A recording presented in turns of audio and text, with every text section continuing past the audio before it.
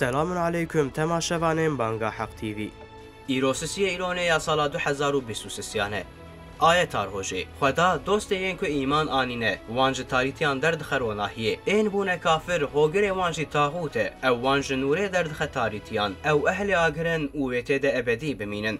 حدیث آروجه، کسی که مؤمن بلال همبر خانم آخوه نه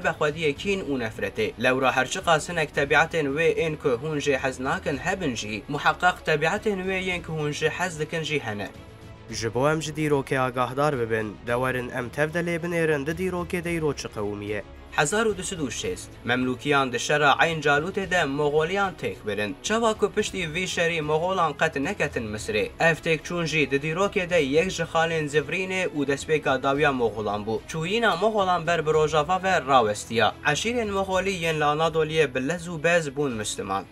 1905 د هلبجارتن شارداری ان پر پارتی ده کو یکم جار به اوای کی راست هاتن درخستن ج 600 زیاده تر شارداری ان پارتیا گل اکوماری 506 شارداری در پارتیا دموکرات بون گلین ترکیه درسه که دان جه په اکو بسالانه به حساب داین لسر ده سلاداری بو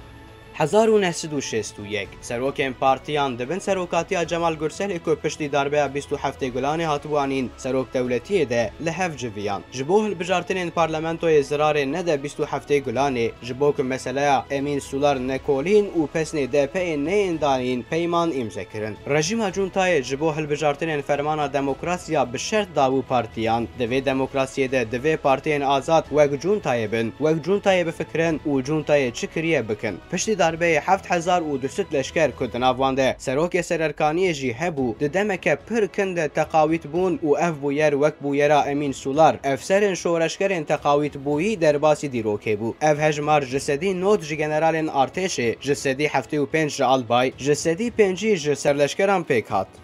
هزار و نهصد و هفته و یک قطر سرخوابونا خوی را گهاند قطر آنجی به ناو فرمی امیرتیا قطر ولاتکی در روجلات نیفگراوا عربیه که حتی کنداوا فارسی درێژ دبێ قطر بەرتەکەن دەولەتێن ئەمپەریالیستێن ji بۆ مازوانیا کۆمێن بەرخەدارێن ئیسلامی بە تایبەتی تەفگەرە بەرخەدانا ئیسلامی یا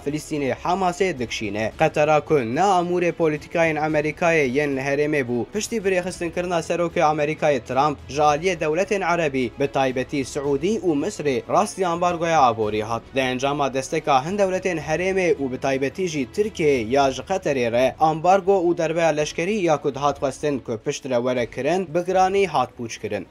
2014 Komên berxwedanên Filîstînê ku pêncî û yek rojan li hember terora siyonîst bi qehremanî li berxwedan, xwepêşandana serkeftinê li darxistin. Di xwepêşandanê de hat destnîşankirin ku îşgal ker têk çûne û wê berxwedan tu carî çekên xwe teslîm neke.